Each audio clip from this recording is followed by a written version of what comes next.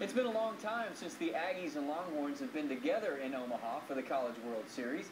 18 years, in fact. Way back in 1993, the Aggies were the top seed, Horns number three seed.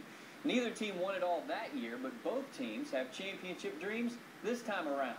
The Longhorns are back on the practice field today, preparing to make their record 34th trip to the College World Series.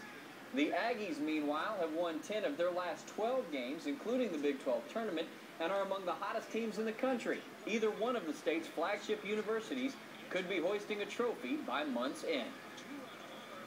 Well, certainly so. I mean, we're up there. We're one of eight teams left playing. We're back to a four-team double elimination tournament, and you know we're going up there to play. We're going up to win that thing, and, and we'll go up there and play well and see what happens. You have no motivation problems. Uh, the situation and the environment creates the motivation. And uh, so it's my favorite time because uh, the players learn inning by inning now about winning. Here's the schedule for the Aggies and Horns this weekend. Both will play in the evening. Longhorns on Saturday against Florida. The Aggies Sunday against defending national champion South Carolina.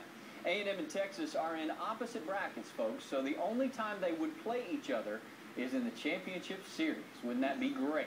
The KVUE sports team will be in Omaha for all the action at the 2011 College World Series beginning this weekend. Stay with us for complete coverage. Saddled with